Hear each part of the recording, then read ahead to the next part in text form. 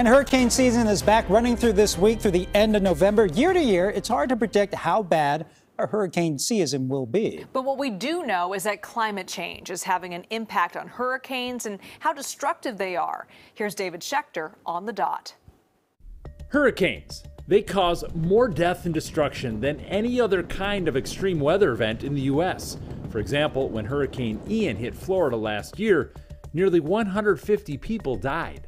Science tells us there's a connection between hurricanes and climate change. But how strong is that connection, and what can we expect for the future? Hi. Hi. Dr. Kristen Corbosiero studies the intensity of hurricanes at the University at Albany in New York. Do we know if there will be more hurricanes in our future? We do not know that. We are less certain about that. And I know that's not a really satisfying answer.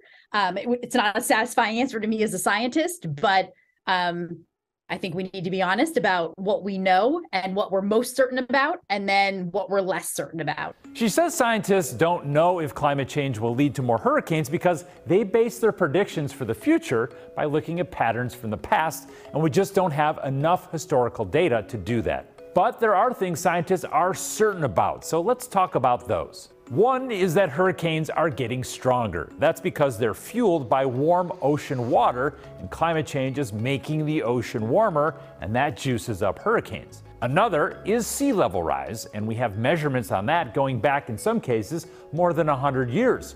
Corbosiero says higher sea level leads to more destruction through storm surge. So it's one of the most clear things I can think we can say about hurricanes and climate change. And we know that this kind of um, bringing water ashore is really the number one killer of people in hurricanes. And it's not just storm surge she's worried about. Check out this recent study in the Journal of Science Advances published in April.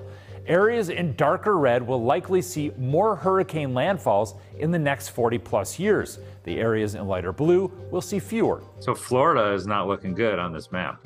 No. So the deep red over Florida would be more landfalls. When hurricanes happen in the western Atlantic Ocean, unless they make landfall, they generally don't make news. This study concludes that climate change is affecting the air patterns out there that push hurricanes towards land. So do I have this right? So these hurricanes that are happening out in the middle of the ocean that we never know about, because they, we've changed the way weather works, have more likelihood of hitting land, hitting Florida. Yes, that's what this study projects um, in a you know 40 plus years from now that our change of the climate will impact these storms and whether they hit the U.S. or not. That's super interesting. So, how strong is the connection between climate change and hurricanes? Science tells us it's strong, though we don't know everything, like if there will be more hurricanes. And what can we expect for the future? Well, the U.S. may see more hurricanes that make landfall, and when they do, they'll bring more destructive water with them. I'm David Schechter on the dot.